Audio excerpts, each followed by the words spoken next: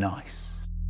Hey there, in this video we're gonna expand on our 2.5D platformer by adding 3D ground. If you haven't seen the first part, this card will take you to it, but you can still understand this video without having seen that part. Basically in that part, we created a perspective camera and our layers were automatically aligned on the z-axis because of their depth values. Now we're gonna add vertex buffers to the mix we are gonna create textured faces for the ground to make it more 3D. I teach a game maker course on Udemy about making a crafting game which has 6 hours of content and over 8000 students. You can check it out through the link in the description. Now let's begin by going back into the project that we created in the first part. Before we do anything else, there are a few settings we have to enable in the camera object. So in the create events, I'll call some functions to enable z-testing, which is required for proper depth ordering because we're gonna use actual 3D triangles, alpha testing so that transparent pixels actually appear transparent, and texture repeating so that we can repeat or tile our textures on the faces. So that's done. Now let's create a new object which will act as our 3D ground. You can give it any rectangular sprite. This object is gonna need two variables. The first one will be ground depth and this will be an integer. It's basically the length of the ground on the z-axis. Then the second variable will be ground offset, also an integer, and this can simply be used to offset the z position of the ground. I'll set ground depth to 80 now let's go into our room and here we have our layers at different depth values depending on where they should appear on the z-axis. These are my main layers which have a depth of 0. So here I'm gonna create a new instance layer for the 3D ground. I'll unlock its depth and set it to 1. This way it'll appear behind my main tiles which are at 0. In this layer, I'll place instances of the 3D ground objects to cover my ground tiles. And now we can start working on our code to make these instances 3D. First of all, we need to create a couple scripts. The first one is called vec3 and this contains a constructor called vec3. It takes x, y and z as arguments and simply stores them in variables. We are gonna use this to create structs for storing 3D points. If you don't know what constructors are, you can watch my video on structs and constructors. Next, I'm gonna create a script called vertex buffers. Here we are gonna create our vertex format, so we'll start writing to it, then add 3D position, texture coordinates, and color. I'll end it and store it in a global variable. Now vertex buffers and formats are a complicated topic, but luckily I have a video explaining them from scratch. You can find it in the cards here. Now in the same script, we are gonna create a function that we are gonna use while building our vertex buffers. This is called vertex create face and it simply builds a face in a vertex buffer. Each face is made up of two triangles and each triangle is made up of three points so this function is gonna handle creating all that. Let's set up the parameters. There's the vertex buffer that we are editing. Then we have the four points of the face that we are creating. These are all gonna be vec3s. Then we have the color and the alpha of the face and then its width and height. These two parameters are only gonna be used for the texture. Now let's start coding the function. First we have the texture size, which I'm making a static variable because it doesn't change. This basically means that it'll only be initialized once, no matter how many times the function is called. You can also make it a global variable or a macro or whatever you wanna make it. Then we have the texture width and height. These are currently placeholder as we're gonna change them later when we add our textures. Now we're gonna build our first triangle. Here we have the first point of that triangle. the 3D position is simply taken from P1. The texture coordinates are at 0 and 0. And here we are simply passing in the color and the alpha. Then we have the second point. The position here is taken from P2. This is the top right point. So that's where the texture coordinates are. And then we have the color and the alpha again. Now for the final point in this triangle, we have P3 as the position this is the bottom right point, so that's where the texture coordinates are for this. Now we're gonna build the second triangle with points P1, P3 and P4.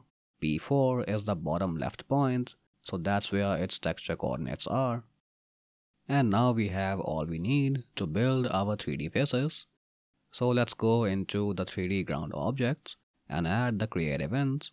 Let's open this window in a new workspace. First of all here we're gonna set the z coordinates of this object in a new variable. It's gonna be equal to the depth with the ground offset added to it. Then we're gonna create a vertex buffer for our top face. Later we're gonna create a separate buffer for the faces on the sides. I'm doing it this way because they're gonna use different textures. I'm gonna get the texture ID from the sprite of my grass texture and store it in this variable for later use. And then I'm gonna call vertex begin on our vertex buffer using the vertex format that we created earlier. So now we can start creating triangles in this buffer. We're gonna do that with our vertex create face function. So I'm gonna call that. The first argument will be our vertex buffer and now we need to pass in the four points for this face. So the first point is gonna be at the x, y and z of the instance, but the z is on the other end with the ground depth added to it. The second point is gonna be the rightmost point on that edge. Then the rightmost point on the closer edge. And then the point at the origin, so simply the x, y and z. Then I'll pass in the rest of the arguments. The color is minus 1, which means white. The alpha is 1. The width of this face is sprite width as it's aligned across the x-axis. And the height of the face is ground depth as it's laid across the z-axis. Now we're gonna end writing to our vertex buffer and then freeze it. So the buffer for the top face is now finished and we just need to draw it. For that, I'll add the draw event and here call the vertex submit function with our vertex buffer. The primitive type will be triangle list since we have passed in a list of triangles and for the texture we are gonna pass in minus 1 since we are not using a texture for now. I'll run the game and now you can see the top faces on the ground areas so we already have a pretty nice 3D effect. If you increase the ground depth for an instance, you're gonna see that it gets larger on the z-axis and if you set a ground offset value, then the ground will move by that much on the z-axis. So making the offset negative means that the ground moves closer to the camera. Now I'm gonna reset them to their default values we are gonna go back into the create events of the ground objects and build a vertex buffer for the side faces. This will be our new vertex buffer. Then we also need to get the texture for these side faces which uses a dirt texture. And now we can begin writing to this buffer with the same vertex format. Let's create a face and this will be the one that's on the left side the first point is the left one on the further edge. The second one is the origin point. The third one is the one below that. And lastly, the one at the further edge. So you can see that the order of our points is top left, then top right, then bottom right, and finally bottom left. This is the order that our function expects. Now we're gonna pass in the rest of the arguments. So again, we have the color and the alpha. The width for this face is the ground depth and the height is the sprite height. We're gonna build the right face now, which uses the exact same properties, except the x, which is offset by the sprite width. That's all for this buffer, so we're gonna end writing to it and then freeze it. Now we also need to draw this buffer in the draw event, so I'll duplicate this statement and pass in our second vertex buffer here.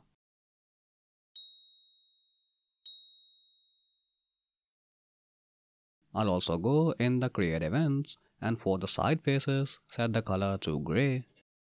And now I'll run the game. Our side faces are also working now and it's already looking much better. Now let's apply textures to these faces. First of all, you wanna make sure that your texture sprites are set to use separate texture pages since the faces are gonna draw the whole texture page on them, which is why you need your textures to be on separate texture pages. I'll go in the draw event and in the vertex submit calls, pass in the textures for the vertex buffers. If you remember, we got the texture IDs from the sprites in the create event. I'll run the game and you can see the textures now, but they are so small that you can't make out any details. So now we're gonna edit our placeholder values in the create face function, which are the texture width and height variables. Since our texture width and height are equal to the width and height of the face, it means that the size of the visible texture will be 1 pixel. That's why it appears so small. And to make it 32 pixels, which is the size of the texture, we simply need to divide the width and the height by the texture size. So now the textures appear properly tiled on the faces. Now if you look closely between the dirt tiles and the side faces, you're gonna see a gap. This is happening because of transparent pixels in the tiles. So I'm gonna fix this by reducing the size of the ground on the x-axis, but I won't do it here in the room editor. I'll do it in the create event. I want to reduce the width by 5 pixels on each side, so 10 pixels in total. So for the left edge, I'll increase the x by 5 and now I want to reduce the total width of the instance by 10 pixels. So for that, I'll modify the image x scale so that the final size ends up being 10 pixels less than the current width. We are dividing that by the actual width of the sprites to get a scale value. I'll run the game and now you're gonna notice that the gap has disappeared. Now you can see that the player is still on the very edge of the ground so we need to move it to the center. This is actually pretty simple. I'll go in the room editor. My player is in the instances layer and since the depth of the ground is 80, I'll set the depth of this layer to 40. So now the player is at the center of the ground on the z-axis However, you'll notice that the particles coming out of the player are not. So to fix this, I'm gonna go to the code where the particle system was created and after creating it, I'm gonna set its depth to be the same as the depth of the player. Now the particles will appear with the player at the correct z position. The ground does look somewhat empty because all the grass and the other tiles are still on the edge so we need to spread them all across the z-axis. For this, I'll go in the room and create a new tile layer. I'll set its depth to 20 and place some tiles here. Then I'll do the same with another layer. This one will be at 60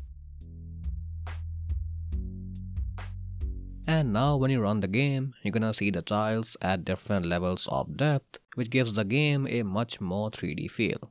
Now we should also create 3D ground in the background because those layers are still very much flat. Here I have my background tile layer and some asset layers with the clouds. First you wanna make sure that the depth for these layers is unlocked so that when you add a new layer, the depth for these layers doesn't change automatically. So the depth for my background tile layer is 140. I'll create a new instance layer for the 3D ground and set the depth of this layer to 141 so it appears behind the tile layer. Here I'm gonna place the ground instances and set their depths to 300 so they appear larger. and now in the game you can see the 3D grounds in the background. In the same way, you can keep creating as many 3D grounds as you want in the background to fill all that empty space that is there. Now there is something I need to fix. The dirt texture appears to be too dark and that's because the color for these faces is still set to gray. I'm gonna reset these to minus 1 which is white and now the texture should appear correctly. That's it for this video. I have many more GameMaker tutorials which you can check out from here and make sure to subscribe for more GameMaker content. I'll see you in the next video.